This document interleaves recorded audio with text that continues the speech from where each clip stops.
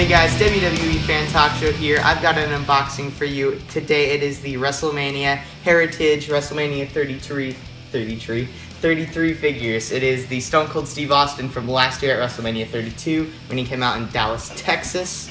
And then it is also uh, the main eventer of last year for the WWE Championship, Roman Reigns with the gold gear.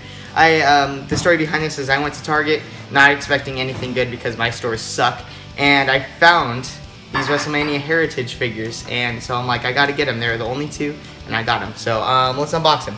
Also, I noticed one thing. I this might have had this. These uh, figures might have had this before, but I just now noticed like this thing. I think it's like for opening it. I don't know. Let's try it out. I think it's for opening it up. Yeah, just like that. Just in case you guys didn't notice.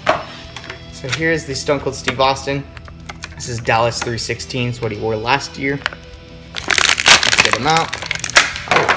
I did not notice this. Uh, on the back, it has a smoking skull uh, with the like American flag on it. And uh, I, I, I don't know. I thought this was super cool because it says Dallas 316, and like he lives in Texas and all that, so it's pretty cool.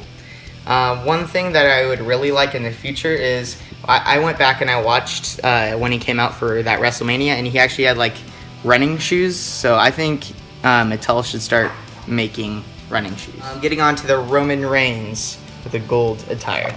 I actually was gonna get this one, uh, just just this one, but then I decided to get the Stone Cold. Okay, so let's get this one out. This is actually gonna be my fifth Roman Reigns. I'm a huge fan. Um, so yeah, here's the Roman Reigns. He has the gold gear. This is the only reason why I really got this because he had the new gauntlets on the side.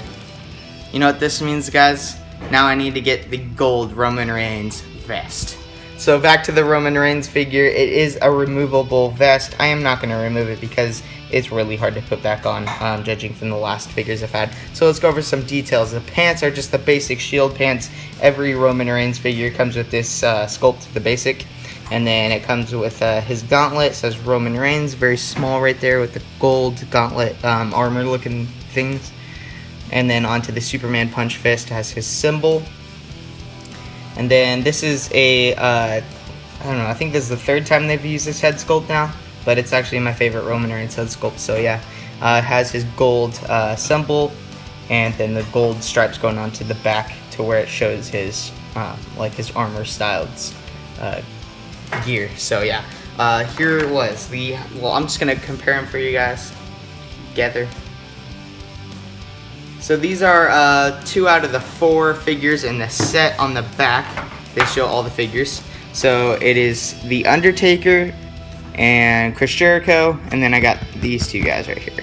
So I need to collect these two guys. Gotta find them. Alright guys, so as I said, this is like my fifth Roman Reigns now, and my third Stone Cold Steve Austin. So actually I have like hundreds of wrestling figures, so if you really want me to do a wrestling figure review, I'll go ahead and do that. Comment below if you want that. Um, so yeah, that was it for the WrestleMania 33 Heritage Basic Figures. Catch you guys in the next video.